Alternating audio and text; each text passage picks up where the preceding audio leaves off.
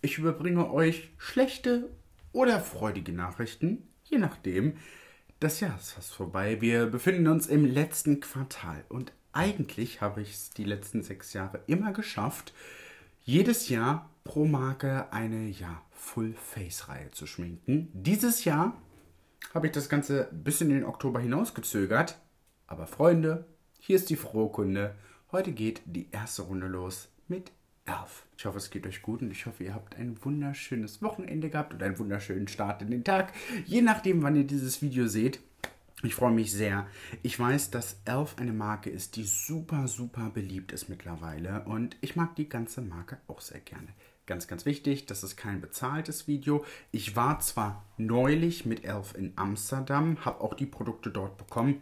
Es ist aber kein bezahltes Video, sondern ich dachte mir, das ist die Möglichkeit, euch noch mal ein paar mehr Produkte zu zeigen, weil ich auch hier Produkte kennengelernt habe, die ich vorher noch nicht kannte. Deswegen werden wir heute ein Full Face 11 schminken. Eine kleine Sache, die ich gerne mit euch besprechen wollen würde, ist YouTube. Ähm, vielleicht habt ihr es bei anderen Creatorinnen und Creatoren auch schon gehört, aber YouTube stellt schon wieder gerade etwas um, was uns Creator äh, ziemlich, ziemlich äh, schwer zu schaffen machen könnte. Und ihr merkt das, glaube ich, oder wir merken es vor allen Dingen daran, dass das Werbebudget für YouTube so wenig geworden ist von den Firmen, die YouTube dafür bezahlen, dass YouTube uns die Views runterdrückt.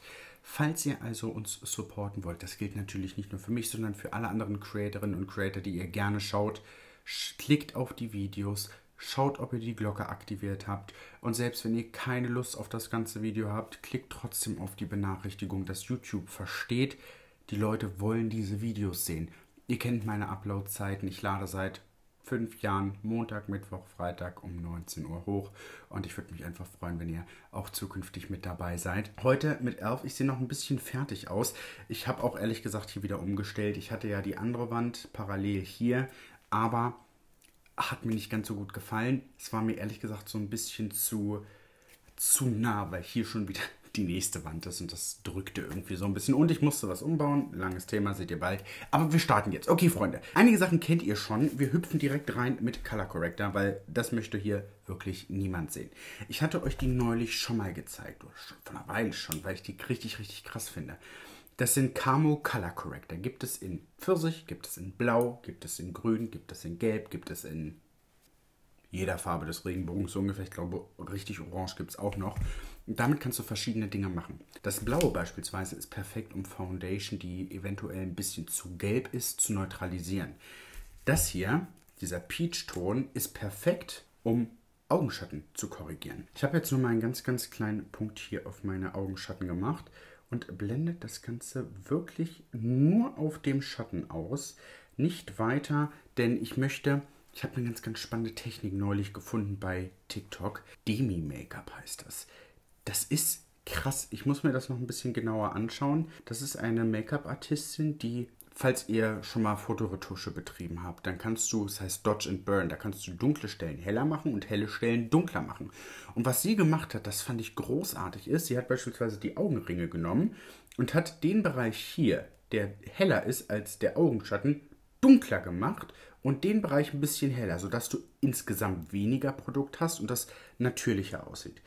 Sie korrigierte aber auch mit den Untertönen und das probiere ich jetzt gerade so ein bisschen zu machen. Mit diesem peachigen Corrector kannst du einfach schon mal den Schatten so ein bisschen auskorrigieren und ich glaube, man sieht recht gut den Unterschied. Das Ziel mit diesen Produkten ist es, nicht unbedingt groß Deckkraft zu haben. Kann man natürlich machen der Unterschied ist schon da, ne? Das Lila ist deutlich reduzierter. Ihr könnt mir gerne einmal in die Kommentare schreiben, welche Produkte ihr von Elf vielleicht schon zu Hause habt. Wir alle haben bestimmt ein Produkt von Elf zu Hause. Im Moment, oh, ihr habt es wahrscheinlich gesehen bei Cindy, na, im Moment ist es super, super schwierig für uns, ähm, nicht verklagt zu werden, weil viele Firmen einfach mittlerweile, ich verstehe es, ähm, Schwierigkeiten haben und jetzt probieren, alles Mögliche zu tun, um irgendwie Geld reinzukriegen. Deswegen heißt es auch ab sofort nicht mehr Dupe, sondern eine Alternative. Elf hingegen ist für mich eine Marke,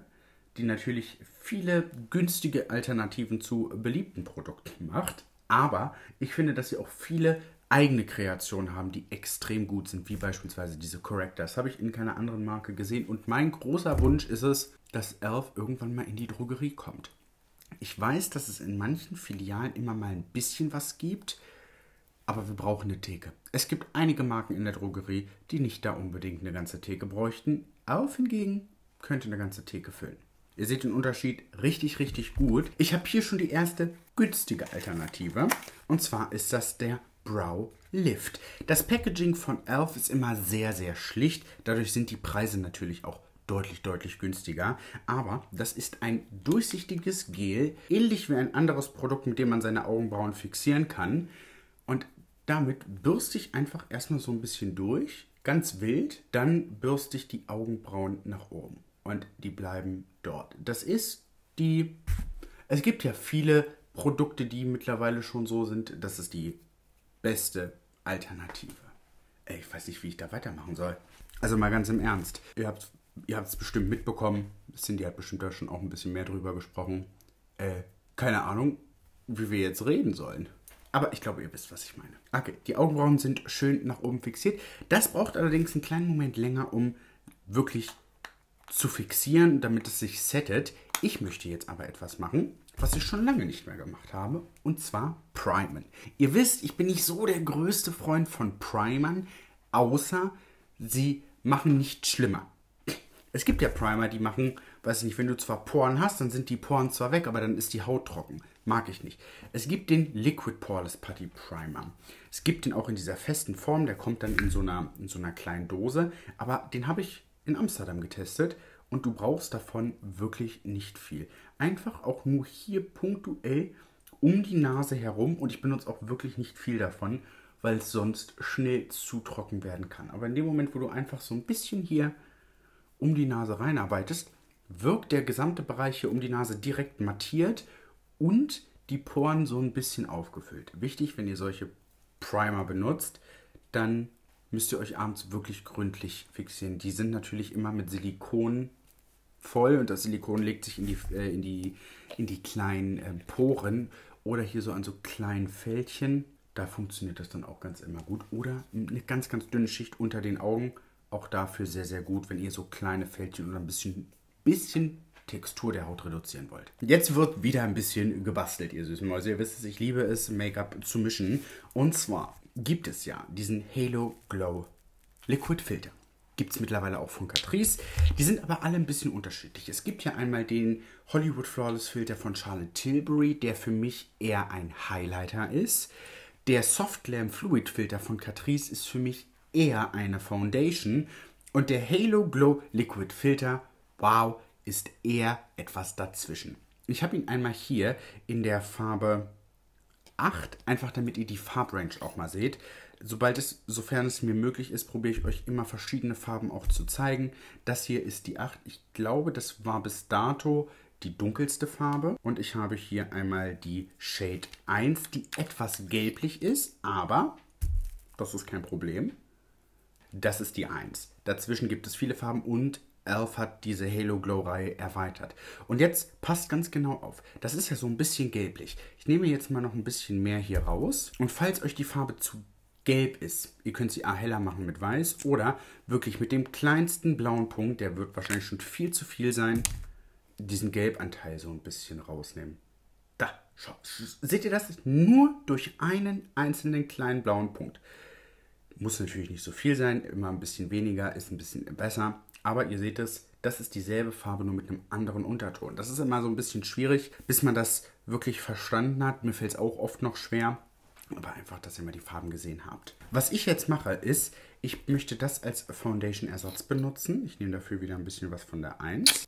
Das hat nicht so viel Deckkraft, wie das von Catrice beispielsweise.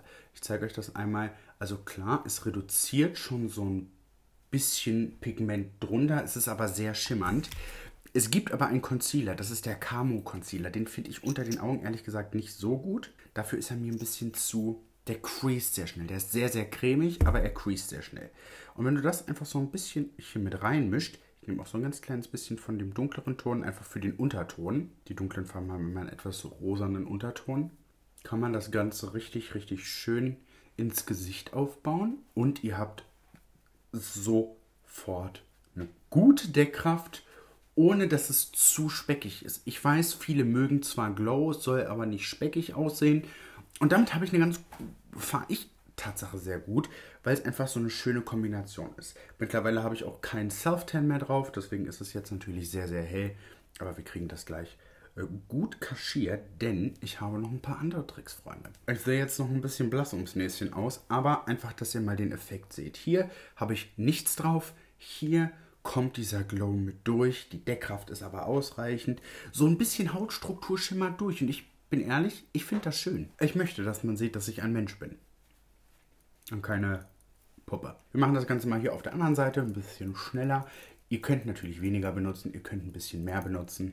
Was ich halt so schön finde bei Elf ist der Preis. Es ist ja wirklich sehr, sehr, sehr, sehr affordable. Und du hast halt eine gute Qualität, auf die man sich so ein bisschen verlassen kann. Ne? Also ich habe schon lange kein Produkt mehr gesehen, wo ich sage, das ist wirklich schlecht. Aber das gilt, bei, das gilt für fast alle Marken. Aber Elf macht einfach wirklich genau das. Und das ist halt das Bemerkenswerte. Elf ist immer sehr, sehr schnell günstige Pendants zu anderen Produkten zu machen.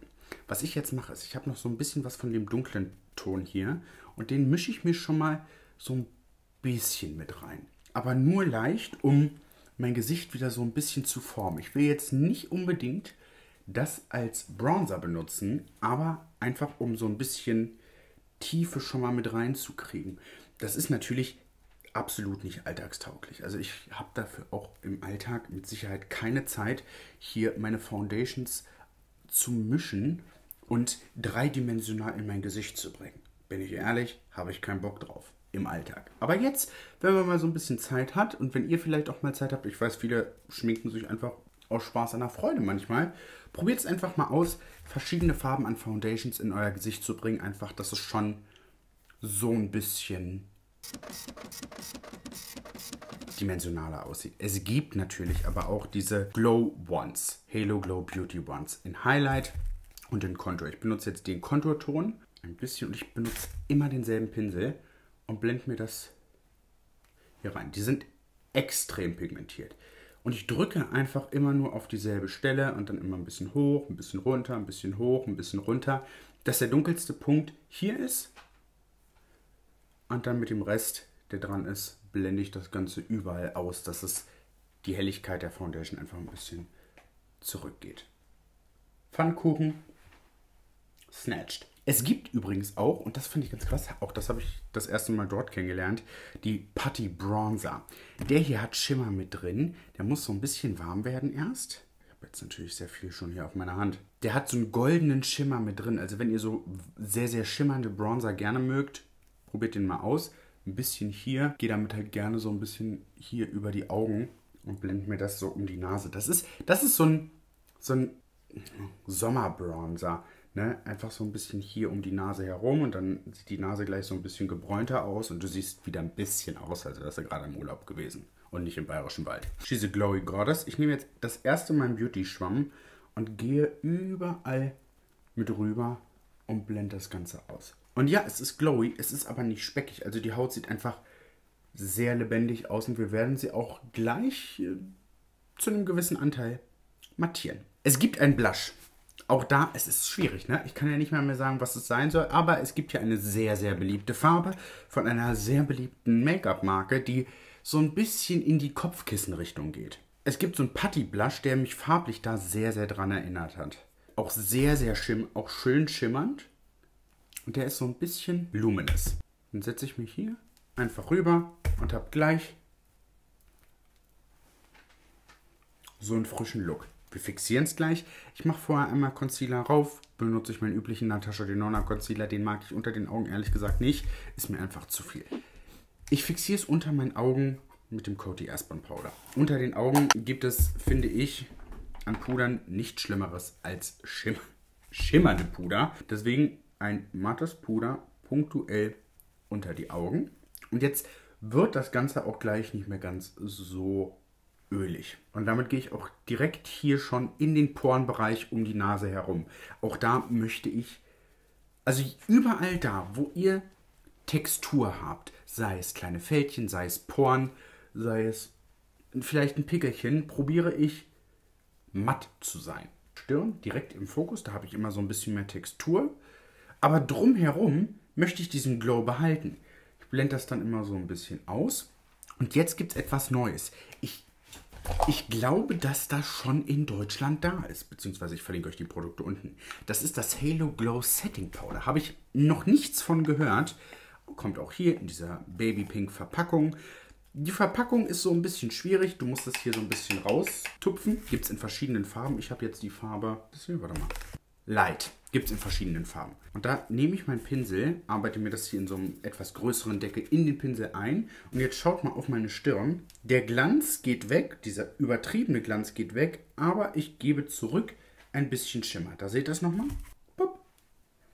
Fixiert, aber nicht mattiert. Und das ist, muss ich sagen, haben sie wirklich gut gemacht. Das erinnert mich so ein bisschen an äh, das Soft Glam Filter Puder von Catrice. Das ist halt nur die gepresste Form von Elf halt in einer, in einer losen Form. Wenn ihr sowas mögt, fand ich ganz spannend. Hat wirklich Spaß gemacht, das auszuprobieren. Ich habe es das erste Mal benutzt unter den Augen und das sah wild aus. Was für eine wunder, wunderschöne Base. Damit ihr es nochmal auf die Entfernung seht, einmal hier. Es ist schon, also du siehst die Bewegung, aber du siehst auch, dass es natürlich ist. Das Problem, was wir hier im Studio haben, ist das Licht.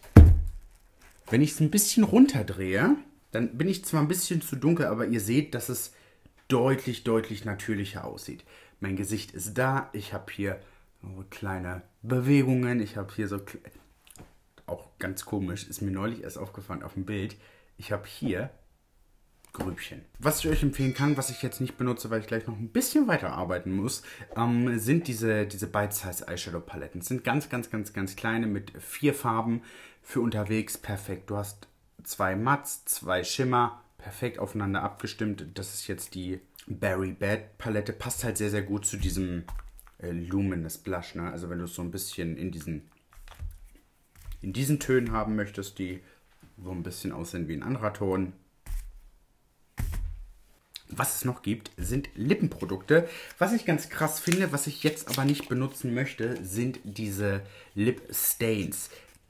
Die, die stainen halt wirklich lange. Es gibt aber auch Lip Liner in einer richtig krassen Form. Die sind so ein bisschen in so einem Dreieck. Love Triangle Lip Filler. So sehen die einmal aus. Da könnt ihr es, glaube ich, ganz gut sehen. Da, komm. Da ist so ein Dreieck. Und damit kannst du sehr präzise die Lippenkontur nachmalen. Ihr werdet jetzt nicht viel sehen. Das ist die Farbe Mauve. Mauve ist fast meine Lippenfarbe. Schaut mal. Du siehst es ja kaum um meine Lippenkontur so ein bisschen scharf zu ziehen und die Lippe so ein bisschen. Das, das Schöne ist halt, wenn ihr so eine, wenn ihr die Lippe ein bisschen größer machen wollt, ihr braucht wirklich exakt die Lippenfarbe. Das hat Ewigkeiten gedauert, bis ich sie finde. Die kommt meiner schon sehr, sehr nah. Ist ein bisschen braun, aber ich mag es gerne, wenn die Lippen ein bisschen braun, dunkler sind nicht so rot. Kann man damit hier so ein bisschen schummeln. Cute. Und es gibt die O-Face Lippenstifte und die sind phänomenal, nämlich in der Farbe Standing Ovation. Die sind so leicht semi-matt, kleinen, süßen Schmusemund. Ihr Mäuse, das ist ein Full Face Elf. Ich fixiere das Ganze einmal und bin sehr gespannt, welche Produkte ihr von Elf sehr, sehr gerne mögt. Als kleine Mascara-Empfehlung habe ich noch diese hier. Auch die kann ich jetzt nicht auftragen, aber wenn ihr bei Instagram schaut, da seht ihr ein ganzes Video zu. Ich bin sehr gespannt, welche Produkte ihr von Elf am aller, allerschönsten findet. Ich danke euch, dass ihr heute mit dabei wart. Wünsche euch den schönsten Tag, den ihr haben könnt. Fühlt euch geküsst, fühlt euch gedrückt. Bis zum nächsten Mal.